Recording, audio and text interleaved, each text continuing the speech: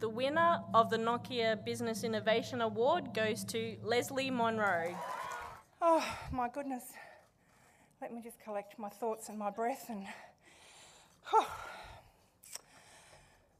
What an amazing experience this has been for me.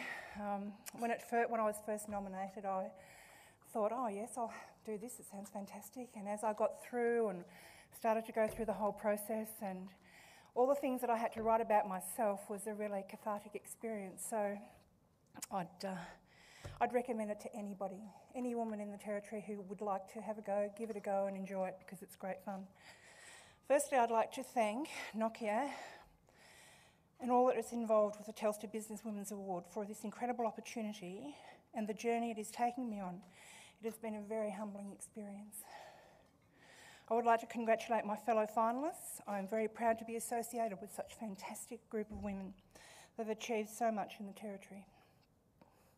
To my wonderful husband Ian, who has been by my side for 25 years through thick and thin, thank you.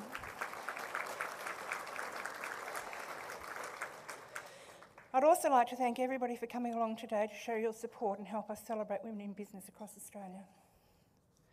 My husband and I first arrived in Darwin in 2000, and for we were going on a um, we want to come up here for a two-week caravan holiday, and we couldn't believe what a vibrant city Darwin was, and the weather was second to none.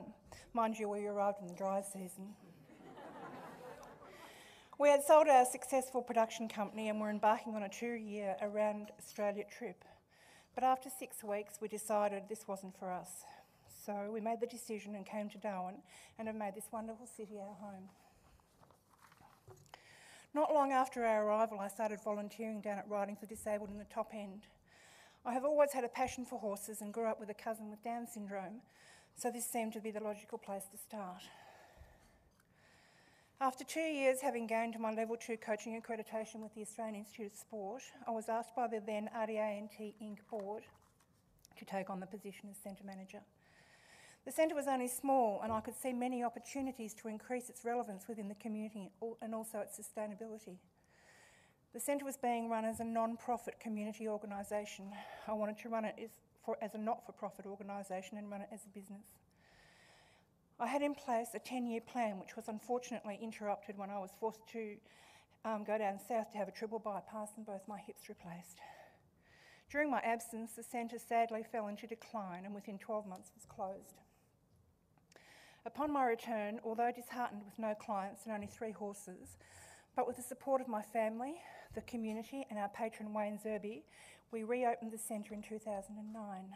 And within 12 months, we had 120 clients and 20 horses.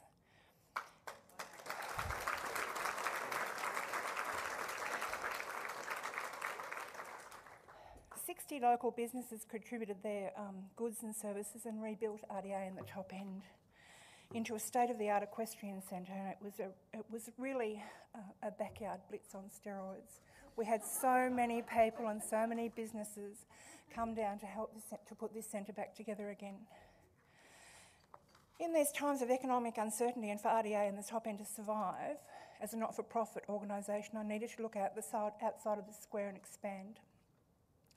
Through work experience groups from various schools, our reputation as a caring and nurturing environment grew, and I was approached by the Education Department and the Department of Justice to help with programs for youth at risk within the community.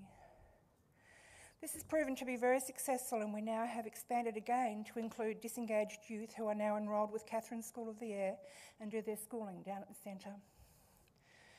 Riding for Disabled in the top end has become an, an incredible, valuable community resource, working with the Department of Justice, youth diversion programs within the NT Police, Department of Education, working, work experience and community pathway programs, and the list goes on and on. Though, it has been a though at times it has been a bit of a bumpy road, it has given myself and many of my clients and supporters a huge sense of achievement. One example of this achievement is a young boy with Down syndrome who was non-verbal and very frightened. He came with his school and was very tentative. After many weeks, we finally got him on a horse, and after much encouragement, fear turned to joy. One morning, after mounting his horse Target, this little voice said, Walk on. There are many tears from teachers, volunteers, and parents. These were his first words. The downside? We now can't shut him up.